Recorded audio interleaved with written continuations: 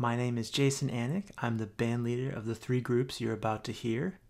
The first video features the Jason Anick acoustic trio, which blends together all the traditions I grew up playing, including bluegrass, swing, classical, and New England fiddle music. You'll be hearing the song Magic Fiddle, which we performed earlier this year at the Scullers Jazz Club in Boston.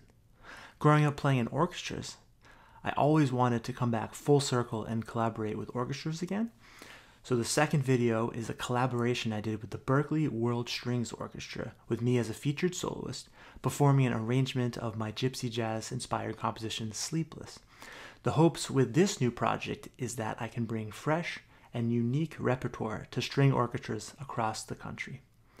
The third and final video features an uplifting version of the swing classic I Can't Give You Anything But Love, performed by my group, the Rhythm Future Quartet, at, at a, a uh, festival in Crested Butte, Colorado. The Rhythm Future Quartet, which features some of the top young gypsy jazz performers in the country, has one mission keep the spirit of gypsy jazz alive and expanding in today's musical universe. Enjoy the videos.